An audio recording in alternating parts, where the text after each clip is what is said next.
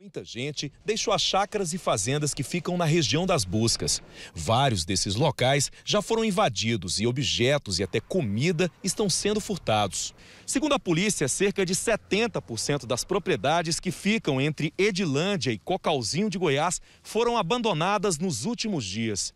Com isso, de fato, Lázaro Barbosa tem tudo o que precisa para abastecer seus dias no meio da mata: comida, água e um local para passar a noite. É tudo que o criminoso precisa para ficar mais tempo sem ser encontrado.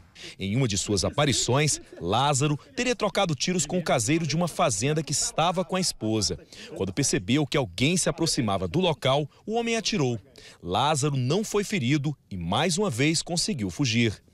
No dia 16 de junho, o criminoso foi filmado no curral de uma fazenda, entre os distritos de Edilândia e Girassol. A polícia acredita que Lázaro tenha passado a noite no local. O caseiro diz que ele pediu comida e, antes de fugir para a mata, agrediu o funcionário e colocou fogo na casa. Ele falou que queria comida. Eu peguei e falei, não, aguenta a mão que eu arrumo comida para você, mas ele não esperou. No dia seguinte, Lázaro teria invadido uma outra propriedade. Lá, ele pegou produtos de higiene e alguns alimentos.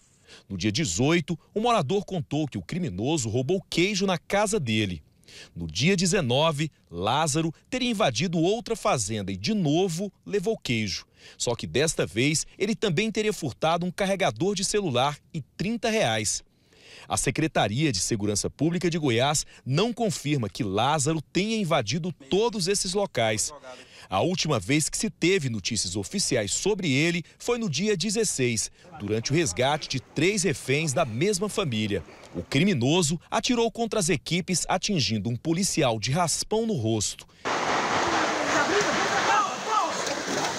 E mais uma vez, Lázaro conseguiu fugir.